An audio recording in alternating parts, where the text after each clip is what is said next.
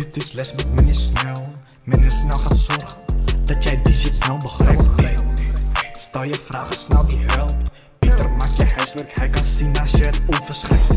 Goedemorgen, C- 5 VWO Wiskunde A. Welkom bij Wiskunde met meneer Snel. We gaan kijken naar som 37 uit het boek eh, van het hoofdstuk lineair programmeren. Een aardige som om samen even naar te kijken. Ehm, nou, er staat een heleboel bla in de tekst. En we beginnen gewoon even met die vergelijkingen die je moet gaan, eh, gaan opstellen. Er is een vergelijking voor eiwit. 15x plus 22 en een half i moet eh, groter dan of gelijk zijn aan 90. Hè? Het is een ontwikkelingsland. Deze mensen maken zich geen zorgen dat ze misschien te veel calorieën binnenkrijgen of zo. Dat is helemaal geen zorg. Het gaat erom dat ze het minimale aantal binnenkrijgen. Eh, voor de, dat is voor het eiwit. Eh, voor de calorieën hebben we ook een, eh, een dingetje. En daar zitten allemaal hele lelijke getallen in. Eh 3390x plus 1130y. En dan denk je van, jongen, jongen, jongen, moet het allemaal, meneer Snel? Nou, het blijkt dat alle getallen die hier staan, dat we die een stuk makkelijker kunnen gaan opschrijven. Dus dat gaan we straks doen. En voor de vitamine B hebben we ook een vergelijking, namelijk 0,1x plus 0,3y moet groter dan of gelijk zijn aan eh, 0,9. Nou, die onderste kunnen we gewoon keer 10 doen. Dan staat er x plus 3y is groter dan 9. Dat ziet er een stuk vrolijker uit.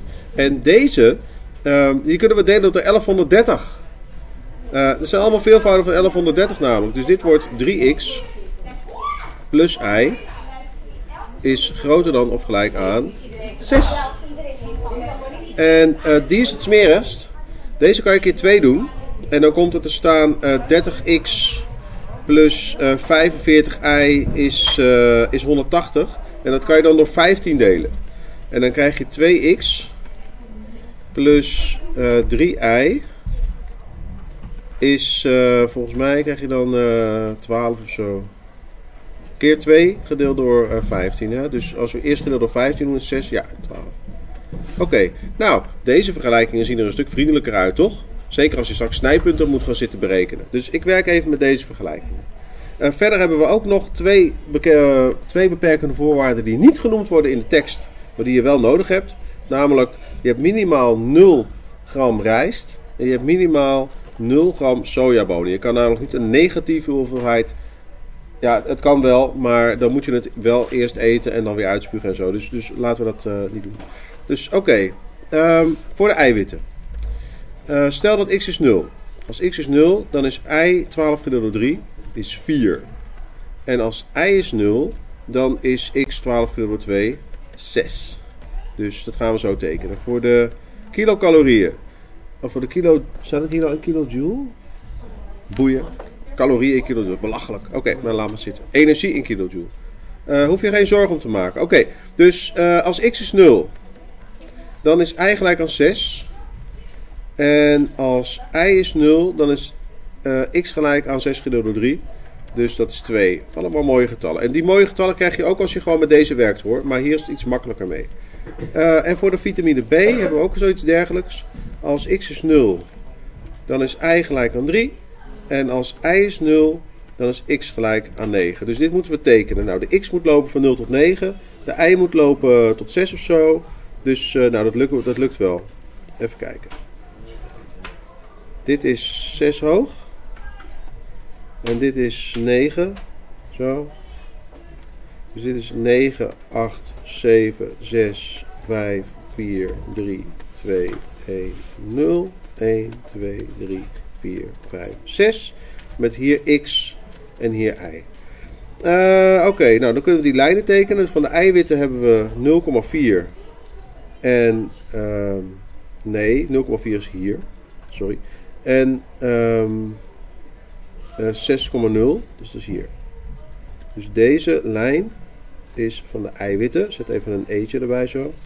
Dan hebben we ook een lijn van de kilojoule. Namelijk uh, x is 0, y is 6 en y is 0, x is 2. Dus die loopt hier doorheen. Die is van de kilojoule. En dan hebben we ook nog een lijn van de vitamine B van y is 3, van x is 0 en y is 3 naar y is 0, x is 9. Dus dan krijg je dit toegestane gebied en deze is dan van de vitamine B. Ehm, en verder heb je nog, natuurlijk nog uh, y is groter dan 0, x is groter dan 0. Dus, dus, het gebied is het, het buitenste gebied. Hoe weet je dat meneer? Nou, dat komt omdat hier overal groter dan staat. Als je hier de oorsprong invult, 0 is groter dan 12, is onzin. 0 is groter dan 6 is ook onzin. 0 is groter dan 9 is ook onzin. De oorsprong ligt aan de verkeerde kant van alle drie de lijnen. Dus dat betekent dat de goede kant de andere kant is. Dus dat is uh, weg van de oorsprong. Dus het gebied is, uh, is eigenlijk gewoon oneindig groot. En dat is dit. Oké, nou, in de goede oude tijd zouden wij een isolijn tekenen en nog een isolijn dan gaan schuiven en kijken wanneer we uit het gebied gaan. Maar dat doen we niet. Uh, we doen het met de hoekpuntenmethode. En dat betekent dat we eventjes uh, de hoekpunten van dit, dit dingetje moeten gaan berekenen. En de hoekpunten, dat, dat is, laat ik ze eventjes letters geven. Deze noem ik A, deze noem ik B, deze noem ik C, deze noem ik D. Nou, A is makkelijk. A is gewoon 0,6. Dat hebben we namelijk net uitgerekend uh, uh, ja, hier uh, bij de kilojoule. Deze. die B is het snijpunt van de kilojoule en de eiwitten. Dus dan pakken we de eiwitten. 2x plus 3i is 12. En dan pakken we de kilojoule, dat is 3x plus i is 6. Oké, nou dan, dan moeten we eventjes die, die onderste keer 3 doen bijvoorbeeld. Hè?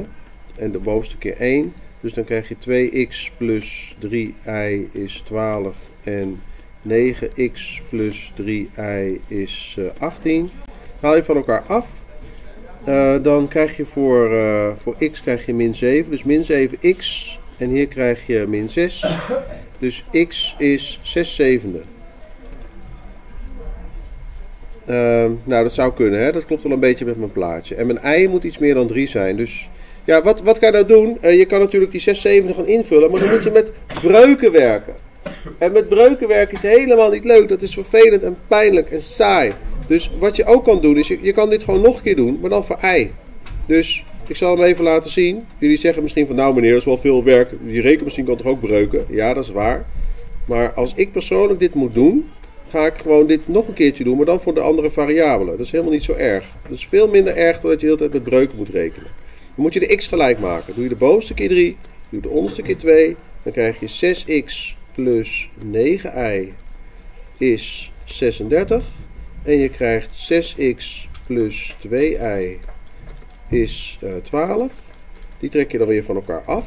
Dus dan krijg je hier 6x min 6x is 0. 9y min 2y is 7y. En 36 min 12 is 24. Dus dan krijg je y is 24 zevende. En Jullie weten vast wel dat dat uh, 3, 3 zevende is. Dus dat is punt B. Punt B heeft op de x-as een 6 zevende. Beetje een lelijk getal. En op de y-as 3, 3 zevende. En doordat ik twee keer dat kunstje ben gaan doen, één keer voor de x en voor de y, heb ik nooit echt met breuken hoeven rekenen. Want mijn breuken kreeg ik pas in mijn laatste stap. Zie je dat? Ik hou helemaal niet zo van breuken. Breuken zijn echt niet, niet zo mooi. Wiskundig houden van simpele getallen. Nou, dit snijpunt is volgens mij 3,2 als ik het goed heb getekend. Dus dat gaan we ook even uitrekenen. Snijpunt C is het snijpunt van de vitamine B en de, um, de E. Wat was de E ook alweer? De eiwitten, toch? Ja. Dus, dan pakken we de formule van de eiwitten. Um, dat was uh, eh, 2x plus 3y is 12. En we pakken de formule van de, van de vitamine B. Dat was x plus 3i is 9. hey, uh, de i'en zijn al gelijk. We kunnen het meteen van elkaar afhalen. Dan krijg je x is um, ehm, 3. En als je die x is 3 invult... Kijk, kijk maar hier. De 2x min x is, is uh, x. 3i min 3i is 0. En 12 min 9 is 3. Je krijgt meteen je x. Nou, die x vul je dan vervolgens in in een van de twee vergelijkingen. Bijvoorbeeld hier... Dan krijg je dus uh, ehm, 2 keer 3 plus 3i is 12. Nou, 2 keer 3 is 6, dus 3i is 12 min 6. En dat is gewoon 6. Dus i is 6 gedeeld door uh, eh, 3. En dat is 2. Dus dat dachten we al. Dus punt C zit bij 3,2. Precies, dat had ik een keer goed getekend. En D zit bij 9,0. Oké. Tot nu toe, Maria, vragen of opmerkingen? Of is het helder? Ja, helder? Dan hoef je niks te zeggen verder. Dat, dat is goed. En als er alsnog wel vragen of opmerkingen zijn, mag dat natuurlijk ook achteraf. Hoewel, als je het nu doet, dan hebben de mensen thuis er ook nog wat aan. Oké.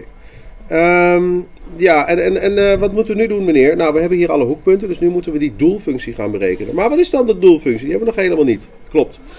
De doelfunctie is uh, de kosten. En de kosten moeten natuurlijk zo laag mogelijk zijn, want dan hou je geld over voor leuke dingen. Uh, dus dus uh, die 70 gram rijst kost 18 cent.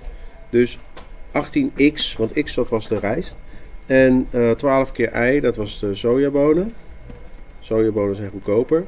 En deze kosten moeten worden geminimaliseerd. Nou, dan gaan we dus nu 0,6 invullen.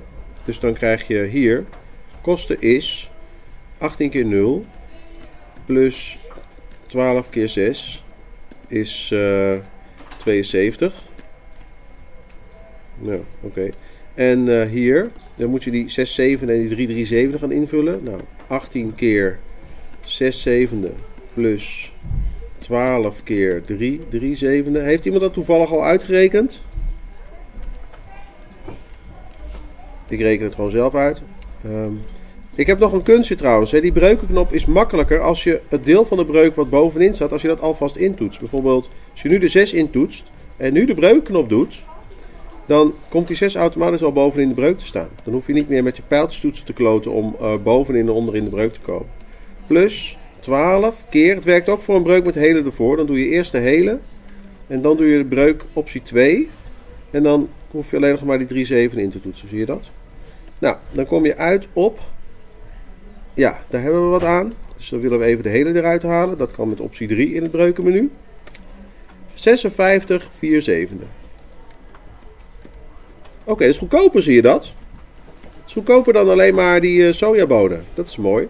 Oké, nou dan hebben we punt C. Die was 3,2. Dus 18 keer 3 plus 12 keer 2. Nou, 18 keer 3, uh, dat, uh, dat kun je natuurlijk uit je hoofd. Maar ik heb even, ik kan dat even niet. 54 plus 12 keer 2, 24. Oh, dat is duurder, zie je dat? Dat is 78. En dan zal die, dat punt uh, 9,0 zal ook wel duur zijn. Dus 18 keer 9 plus 12 keer 0 is uh, 172. Oké, waar is je goedkoopst? Hier. Oké, en nu komt de strikvraag. Hoeveel gram rijst en hoeveel gram sojabonen heb je dan nodig? De hele som uh, werken we met 70 gram rijst is x. Dus als x is 1 is, heb je 70 gram rijst. En als x is, uh, als y is 1, dan heb je 70 gram sojabonen. Dus om nog te weten hoeveel gram rijst en sojabonen je nodig hebt, moet je dit nog vermenigvuldigen met 70. Dus voor de rijst.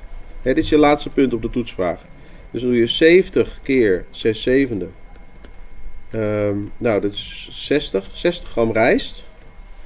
En voor de sojabonen heb je uh, dus 70 keer uh, die 56, nee, keer die uh, 3, 3 zevende. Hè? 3 3 zevende, dat was 24 zevende. Dus dan doe je 70 gedeeld door 7, dat is 10. En 10 keer 24 is 240. En als je dat niet leuk vindt, dan kun je het ook gewoon op je rekenmachine doen. Dus uh, dit dieet bestaat uit 60 gram rijst en 240 gram sojabonen. Mooi hè? Zijn hier nog uh, vragen of opmerkingen over? Ik zie mijn leerlingen een beetje moeilijk kijken, dus, dit is je kans. Misschien kijken we gewoon moeilijk omdat ik niet kan lezen. Oké, dan, dan sluiten we nog even af. Dankjewel voor de aandacht. Tot de volgende keer. Dag. Dit is les met meneer Snel. Meneer Snel gaat zorgen dat jij die snel begrijpt. Stel je vragen, snel die huil. Pieter, maak je huiswerk, hij kan zien als je het onverschrijft. kan zien als je het overschrijft. Minder snel bro, ja dat is een feit. HBO of universiteit, minder snel die zorgt dat jij bereikt. Tien halen, je zou niet gaan vallen, deze les is gratis, je gaat niet betalen. Op minder snel valt niet te haten, vertel je moeder of vertel je vader. Ja, dit is les met minder snel. Minder snel gaat zorgen dat jij die shit snel begrijpt. Stel je vragen, snel die huil. Pieter, maak je huiswerk, hij kan zien als je het.